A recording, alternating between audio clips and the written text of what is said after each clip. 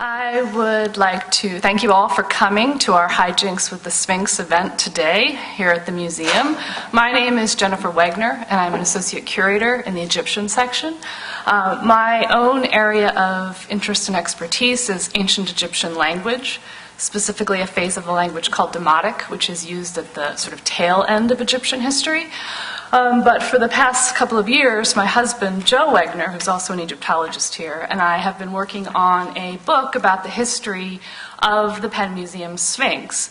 Um, some of you may have heard Joe's lecture earlier today. Or anybody? Couple people? Okay, so we, we tried very hard not to overlap too much on, on our information. So what I would like to do with you this afternoon is to sort of run you through um, the world of the ancient Egyptian Sphinx, what the Sphinx meant to the ancient Egyptians, the different types of Sphinxes we have, and places where we find Sphinxes both ancient and modern. So here we are at our, our celebration. Um, and here is the, uh, the man or the half man, quarter man of the hour, um, our Sphinx um, in the Lower Egyptian Gallery. Um, and as many of you know, or now know by the end of today, this Sphinx was discovered um, in 1912 by Flinders Petrie at the site of Memphis um, in this area up here um, near the Ptah Temple. Um, and the following year, uh, it came to Philadelphia. Here's a letter um, from Petrie offering the director of our museum at the time um, the Sphinx, saying, We found this giant Sphinx. Is the Penn Museum interested in it? To which our director replied, Yes, please. Um, and so it came to Philadelphia. Um, 100 years ago this weekend, and here's a, a, nice view of it from an old newspaper um, on a horse drawn cart um, in front of the museum um, just wrapped in burlap and things like that. It was hoisted over the wall, and it stayed in the garden out front of the museum where the fish pond is. Um, for several years, including in a snowstorm, um, until it was brought inside the museum. Um, one of the important things about our Sphinx is that it is the largest ancient Egyptian Sphinx in the Western Hemisphere. Um, here you can see a chart of some of the other very large Sphinxes um, in the world. Of course, the Great Sphinx at Giza is the the biggest ancient sphinx of them all. Um, and our sphinx falls in at uh, probably around number six, depending on how you count some of these pairs of sphinxes. Um, so whether you count a pair as one or two.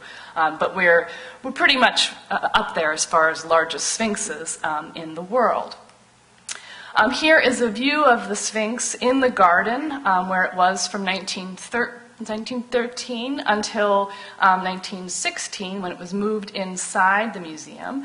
Now, even though, as you probably have noticed, our Sphinx does not have a face, we know whose Sphinx this was um, because of the hieroglyphs that are inscribed around the base of the Sphinx um, which you can see in this um, shot here. You have an inscription that runs all the way around the Sphinx. Um, it's inscribed on the front here, as well as um, other cartouches of a different king on its shoulder. So the Sphinx belongs to Ramses II, or at least he claimed it um, as his Sphinx. And the text on the side of the Sphinx tells us basically the, the name, the, the five different names of Ramses II. Ancient Egyptian kings had five names. The last two of those names appeared in cartouches. Um, and so Ramses' name um, appears here and here. Um, so this is really the, what the text on, on the Sphinx says. So that's how we're, we're, very, we're able to identify it even with lacking its um, facial features. Well, when we think of sphinxes um, from Egypt, this the sphinx, like our sphinx in the gallery, this recumbent sphinx, this lying down sphinx with the body of a lion and the head of a man, usually the king, um, is sort of the quintessential Egyptian sphinx. And we find sphinxes in ancient Egypt from as early as the fourth dynasty of the Old Kingdom, um, with the Great Sphinx at Giza is probably our our earliest um, example of a sphinx um, in Egypt, and that sphinx bears the, the likeness bears the face of King Khafre, who is the builder of the second largest pyramid at Giza, um, and was probably meant to represent um, this king. And so the sphinx combines the head of a human being, so it has the intelligence of a man, but the power and you know physical prowess of a lion. Um, and we find sphinxes in Egyptian art all the way through into the Roman period. So the Sphinx, the iconography of the Sphinx, the idea of the Sphinx is something that is very long lived in Egyptian, ancient Egyptian culture. Sphinxes can be both male and female. Another very early Sphinx, and may actually be slightly earlier than the one at um, the Great Sphinx at Giza, is this Sphinx, which belonged to Queen Hetepheres, who also lived during the Fourth Dynasty. Um, this is a much smaller sphinx, but it is an example of a female sphinx. So we can have male sphinxes in Egypt and female sphinxes in Egypt.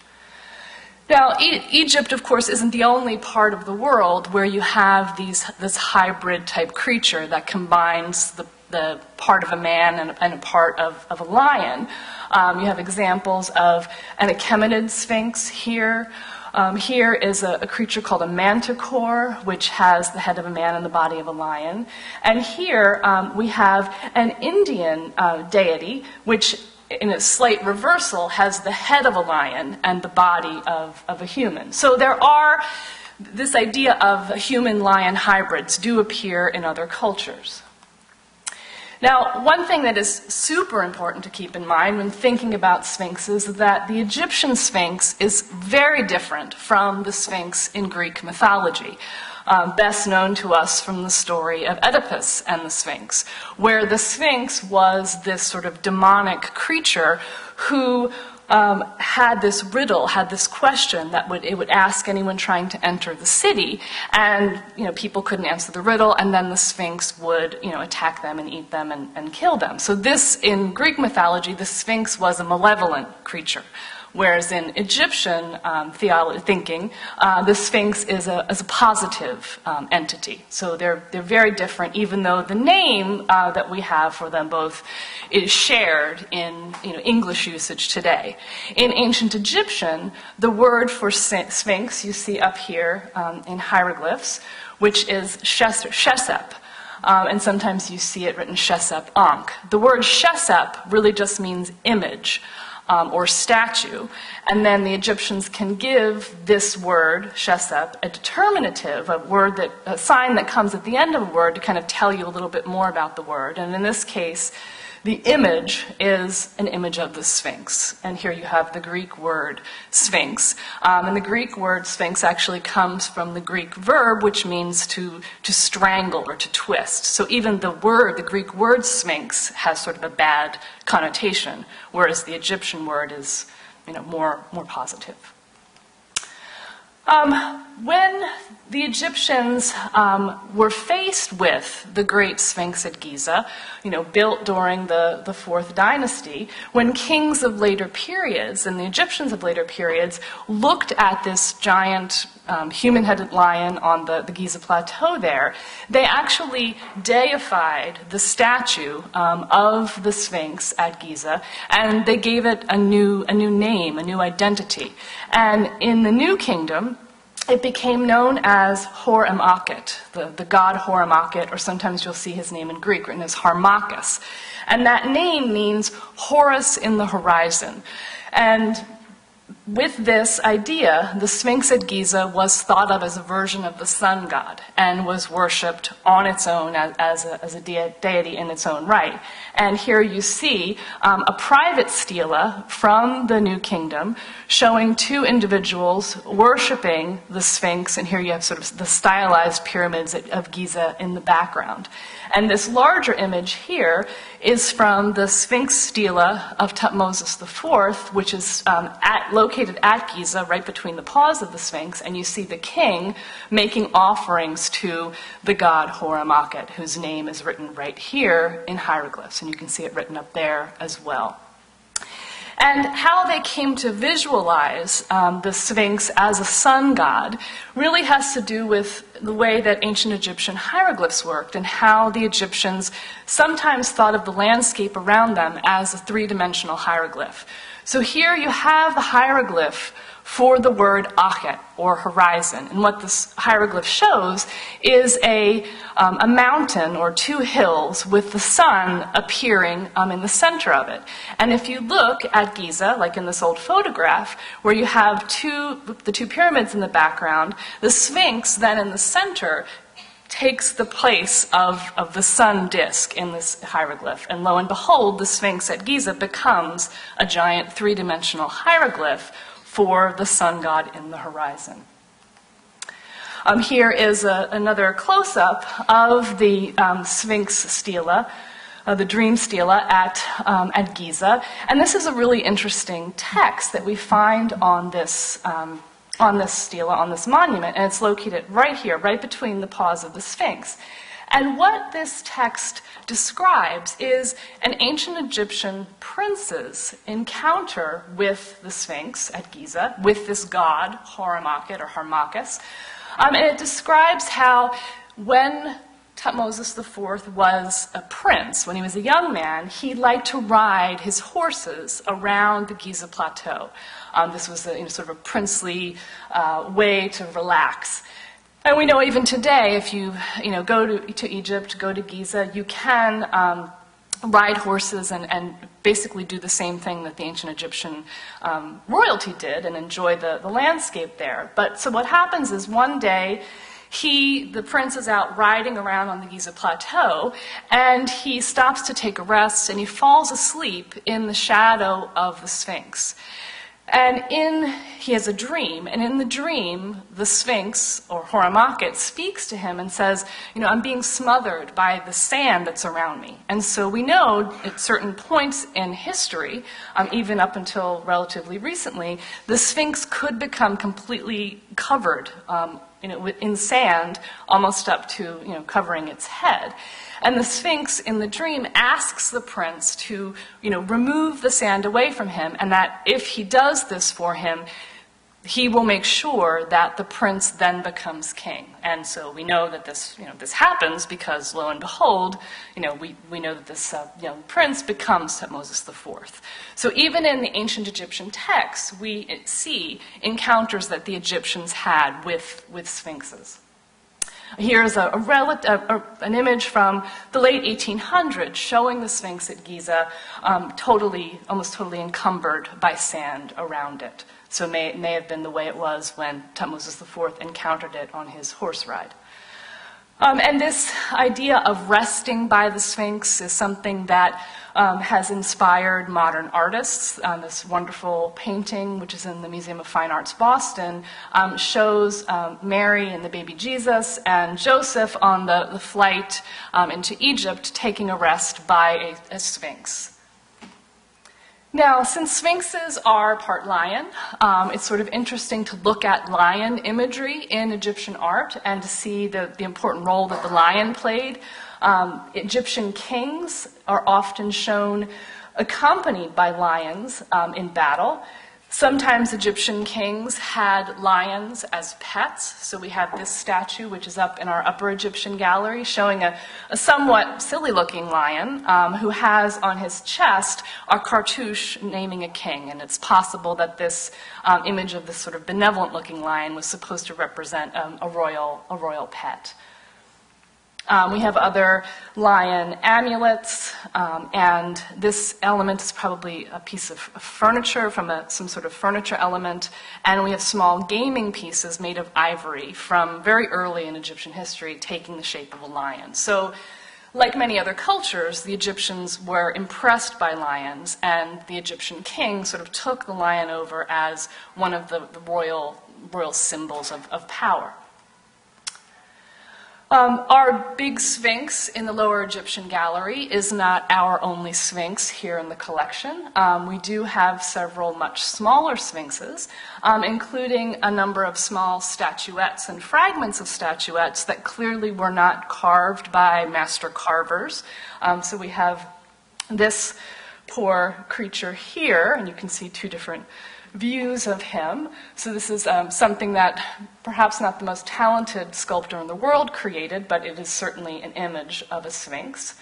One of our tiniest sphinxes, um, although she looks, he looks very large in this slide, is this gold or electrum element from a set of jewelry, probably from a bracelet, very much like this one, um, that's now in the Metropolitan Museum of Art in New York. Um, so this is one of our, our tiniest and lightest sphinxes. Um, Egyptian scarabs are a very common and very popular artifact type. Um, we have several thousand examples of scarabs in our collection, and quite a number of them on the bottom of the scarab, where the decoration usually is, bear sphinx imagery, different types of sphinxes in, in different poses. So the sphinx, again, a very popular um, iconographic motif for the ancient Egyptians.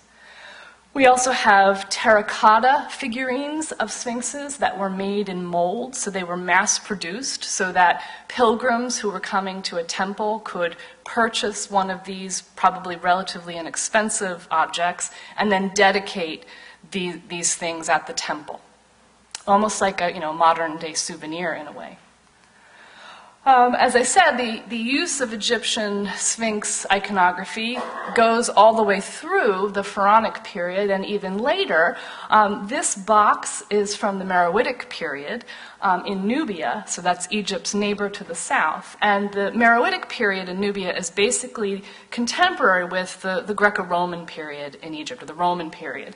And so on this ebony box, you have ivory inlays um, including two sphinx images here, as well as a frontal lion um, here, and perhaps at the top as well. And here's just a close up of what that sphinx um, looks like. From the palace of Merneptah, much of which is on display in our lower Egyptian gallery, we have windows um, from the palace itself. Uh, these are windows made of stone, but that imitate what the uh, real windows, window blinds would have been made out of. So you have these rolled up reeds here, carved in stone, so they're, they're permanent, they're going to last forever. And this entire window is sort of laden with religious symbolism and iconography. Uh, and notice at the top here, you have two seated sphinxes. You have a row of falcon heads um, representing Horus, or a version of the sun god. You have these elements here. These are Djed pillars. The Djed pillar was a symbol of stability. Um, it was also thought of as the backbone of the god Osiris. So this entire window is just chock full of um, sort of religious iconography, including the two sphinxes at the top. All protective imagery, all um, doing things to protect the king and the, the space of the, the, palace in which the king was um, you know, moving through. Now, we do have um, in the, the, museum, not in the Egyptian collection, other examples of sphinxes, some of which are Greek sphinxes. So, in our Mediterranean collection, we have um, this vessel decorated with these winged sphinxes. And in our Near East section, we have these ivory uh, plaques, which probably decorated elements of furniture or perhaps boxes, um, showing two different types of sphinxes here. So sphinxes aren't only found in the Egyptian section here, you can wander through other parts of the museum and encounter um, sphinx imagery. Now, for the ancient Egyptians, sphinxes could come in a variety of different flavors, if you will. So, our recumbent um, lion with a human head, that's the most common and most popular form, those we call androsphinxes or, or human headed sphinxes. But we also find um, falcon headed sphinxes, which we call Hieracosphinxes, as well as um, ram headed sphinxes, which we refer to as criosphinxes. And if the Androsphinx really represents sort of the king in this powerful, uh, you know, sort of divine form. These other sphinxes were probably sacred to various gods who could take the form of these animals. So the god Amun, for example, often appeared in the form of a ram. Um, so sphinxes like this may have been set up in front of temples dedicated to the god Amun. Here are just two examples of Hieracosphinxes, or the falcon-headed sphinxes, um, a recumbent lying down example, as well as a seated example here. Um, two examples of the ram headed sphinxes, both a, um, a, statue and then a stela, showing this ram here being worshipped by someone over here. And then the sphinx in this case is identified as Amun Re. Um, the lord of the thrones of the two lands of Egypt. So we know who this sphinx is supposed to represent. And here um, in front of the temple, we would often find uh, avenues of sphinxes, much smaller than the one we have in the Lower Egyptian Gallery, set up, sort of protecting the pathways leading up to the temple. We can also find um, combinations that aren't human or ram or um, falcon. We have this somewhat damaged example of a crocodile sphinx, um, somewhat rare, but you see it has a crocodile tail and its head is now gone. It probably represented the god Sobek, who appeared in crocodile form. Here is an example of a seated snake sphinx, which is not easy to say. Um, and so, the, as I said before, sphinxes can come in male and female forms. So here are two examples of female sphinxes. On one hand, the one of Hetepheres that I showed you at the beginning, and on the other, here, a sphinx of Queen Hatshepsut, who is sort of an interesting character in and of herself because she was a female who ruled as a male king. So while the Sphinx does depict a female ruler, um, in actual fact, she is shown as if she is a male king. Sphinxes can sit like cats, so a lion is really just a big cat, so sometimes we do see sphinxes seated in a more cat like pose, um, here with a human head with this very curious hairstyle. Um, sphinxes can also stand, sort of at attention, be very alert in the way that they look. Um, they can also stand and trample enemies. So here on the seat of a, um, a royal chair, you have a, a striding sphinx who is trampling the enemies of Egypt. So it is the king in the form of a sphinx actually taking out enemies um, under, his, under his paws. Um, here are striding sphinxes in um, falcon form. So you have a falcon, the falcon has wings, and the body of a lion. And again, you've got the enemies of Egypt being crushed underfoot. And just to make it clear that this is a roy, that is, you know, under the guise of the king doing this, you have the cartouche here bearing the pharaoh's name. Sphinxes can also, instead of having lion paws, can have human hands. Um, and, and, in these cases, they often hold offerings. So here, different a vessel um, with a ram head at the top. Here, two offering jars. And in this case down here, you have a, a recumbent sphinx with human arms and wings, and in this case, a female head. So sphinxes, again, they can take all different types of, of forms. Uh, we do have one ancient Egyptian god separate from Harmachis who can take the form of a sphinx, and that is the god Tutu. Um, he appears quite late in Egyptian religion, um, but he does have the body of the lion, the head of a human, and he has some additional features that regular sphinxes don't have. Like you may be able to notice that his tail is actually a serpent, and he has another head of a lion popping out of his back, and he also has, coming out of his paws, daggers or knives and scorpions. So he was a protective deity, but he combined all of these sort of fearsome elements within him. Now, there are many places that if you encounter a sphinx, it wouldn't surprise you to find a sphinx there. So, in front of temples in Egypt, in front of the pyramids, certainly walking through museum galleries, if you encountered a sphinx, it wouldn't surprise you to find a sphinx there. Um, even some sphinxes, like our sphinx, that have traveled outside of Egypt, but rather than be inside a museum, are outside, like this one of a pair of sphinxes that's in St. Petersburg in Russia. Um, so these are all places you might not be surprised to find sphinx, sphinxes, but there are other places where sphinxes or sphinx imagery turns up that is a little unusual and perhaps not exactly what the ancient Egyptians had in mind, um, lo those many thousands of years ago. Um, here is a Sphinx monument um, in a cemetery. So, this is a modern example of a Sphinx. Again, not too strange to find a Sphinx in a cemetery. That wouldn't be too far off from you know, the, what the ancient Egyptians would have thought. Um, if any of you have had a chance to visit the Masonic Temple downtown on, on Broad Street, it's a fantastic place. They do tours of the various rooms there, and each of the rooms are themed. But when you walk through the front door, uh, you are greeted with a pair of sphinxes that are sort of semi Egyptian style. Um, but so they, they greet you as you walk in. So again, not uncommon to find sphinxes sort of protecting an entryway. Uh, here is just a view of what the Egyptian Hall in the Masonic Temple uh, downtown looks like. It is absolutely stunning. Um, I highly uh, recommend taking a visit there if you haven't had a chance to, um, to see it.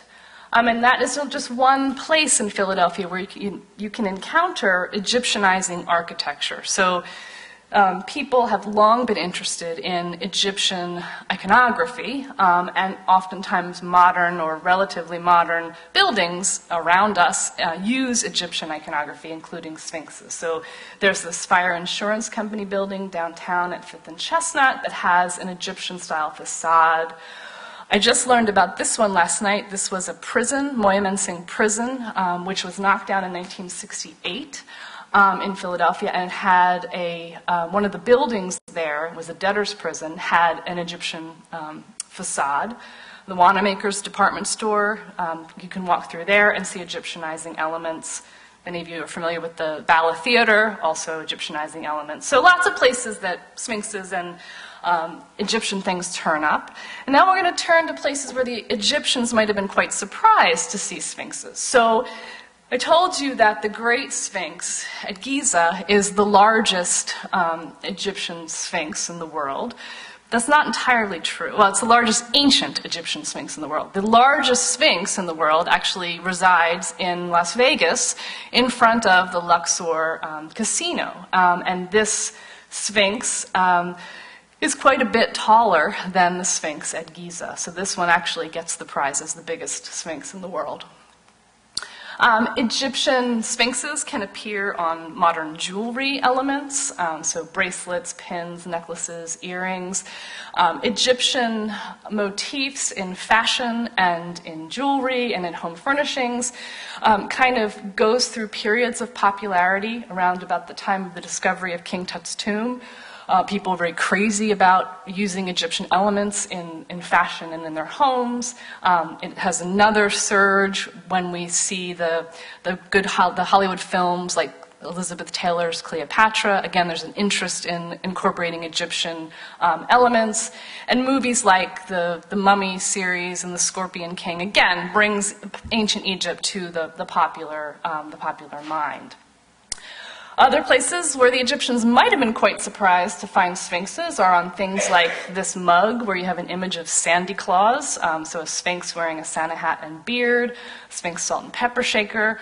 Um, the heavy metal band Iron Maiden incorporates Egyptian sphinx iconography on their album cover here. Um, other types of music, um, perhaps a little very different from Iron Maiden are these examples of sheet musics from the early part of uh, last century. So around the 1920s, 1930s, um, we find a lot of Egyptian iconography on the covers of these sheet musics. Um, and here's a series that have a bunch of sphinxes as part of their decoration. Sphinxes um, and Sphinx imagery also used by novelists, so romance novels, children's books, um, the, the, famous novel The Sphinx by Robin Cook all incorporate this idea of sort of the mystery of the, of the Sphinx.